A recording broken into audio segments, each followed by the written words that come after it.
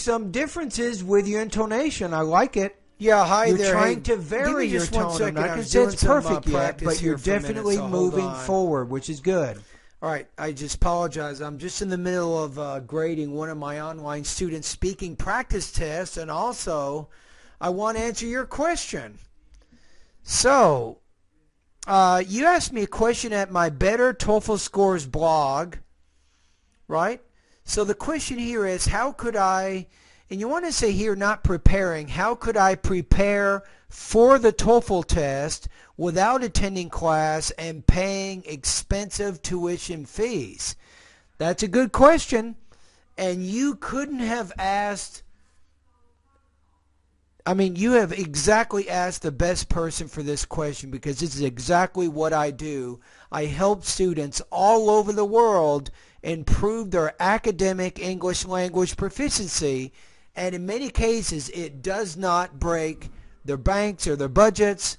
And there's a lot of things that you can do that cost no money at all. So let's just give you a comparison. So let's say you're studying in an intensive English program here in the United States. The tuition alone is probably two to three thousand dollars for a quarter or a semester. And then you have your room and your board and your utilities, your expenses and your car if you have one and all of those things and it becomes super expensive to study English and to prepare for the TOEFL exam. And guess what? I can I can save you tens of thousands of dollars with what I'm going to tell you right now. Most people uh, most people know a lot of what I'm going to say, but a lot of students they I mean, you got to be motivated. If you're a self-starter, if you're good at scheduling and putting things on your calendar and then making it happen and doing it without somebody watching you or grading you or anything like that, uh, I think this is going to help you a lot. So get ready to take notes. So 60% of your time, I have five tips here. They cost you no money at all. Zero. Number one, I want you to start reading every day for about 45 minutes. Focus on newspapers, magazines, and longer books.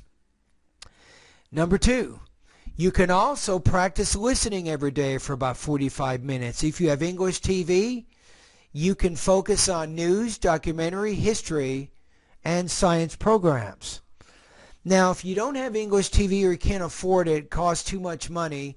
Uh, if you have the internet, and that's going to cost you some money, to, you know, to have the internet, good internet connection. But my advice is there's three good websites. First of all, you can use Randall's Cyber Listening Lab. That's the first real useful website. The second one is National Public Radio.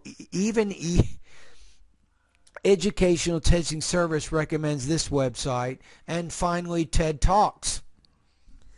So, as you're doing your reading and your listening practice, you're definitely working on getting down the main and the most important supporting points of the reading and listening passages in note form.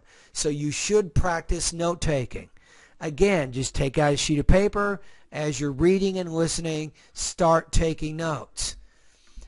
My fourth suggestion is using your notes. I want you to do three 60 second oral summaries each week. You need to record the oral summary too, and you can listen to it after, and then you can pay attention to your uh, pronunciation, vocabulary, grammar, and also topic development. So that's also going to be very, very helpful for you. Now, my fifth suggestion is to write three 250 word summaries each week, again, using your notes based on the reading and the listening passages, you should be writing these summaries. So it's going to help you get more comfortable. Now you might say, well, Michael, my note-taking skills are terrible. But you know what? If you start today, three months from now, you'll be very, very good with your note-taking. It takes time and takes practice, but start putting in the time. Now, th- these five suggestions here, they cost you nothing and you will get just as much benefit doing these five things as if you were in an intensive English program paying thousands and thousands of dollars in tuition. The only difference is is you don't have anyone looking over your shoulder. Nobody's going to force you to do these five things, but if you do them, you will find that your academic English language abilities will skyrocket. You will do really, really well. Now, my next suggestions about 40% of your time right now. So if you set aside maybe two to four hours every day, 60% of your time you do the first five suggestions and then 40% of your time you can go through the lessons in my online TOEFL course and it's not going to bust your budget. If you go to my website, onlinetoeflcourse.com, check it out, and you can click on the join uh, page, and you can learn about my course. It's not very expensive, and my recommendation for you is first of all, go through the vocabulary, pronunciation, and grammar lessons. This will probably take you between two and three months. If you can master the lessons here, your English skills are really, really going to get really, really, really advanced. Okay, now my tip seven is go through the listening and reading sections after you finish the vocabulary, pronunciation, and grammar. It'll probably take you a couple of months to do this. And then the eighth suggestion is to go through the writing and the speaking sections of my course. And guess what? You're not going to believe this, but most online courses, you, you can name them. You got the English Success Academy. You have ETS's TOEFL IBT preparation course. You have TestDEN. You have Notefull and countless other online courses. They don't offer what I'm going to offer you right now. You can start posting writing and speaking practice tests even on a daily basis. My limit is one. You can post up to one writing and one speaking practice test each day. And you know what's going to happen? I'm going to talk to you. When you do the speaking, I will give you audio comments just like I'm talking to you right now. I will tell you problems you're having with pronunciation. I will tell you what grammar and vocabulary issues you have.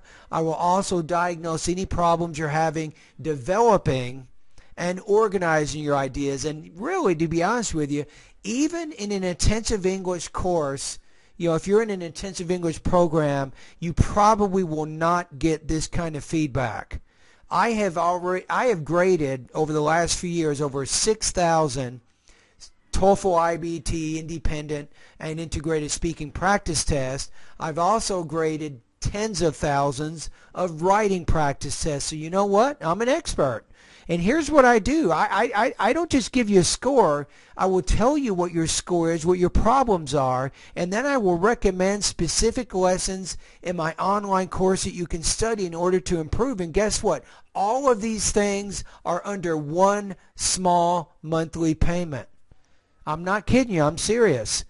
Now, what you can do here in about maybe two or three months from now, once you've gotten into the groove and you've been following my nine suggestions and you feel like you've been studying every day for maybe two to four hours and you want to mark your progress, I recommend that you take a full-length IBT practice test. The practice tests are five hours long. Now, it'll cost you a little bit of extra money. Uh, I have a website I contract with, and they will offer these practice tests for you at a discount. I think it's right around $34 to take one of these practice tests. But you know what?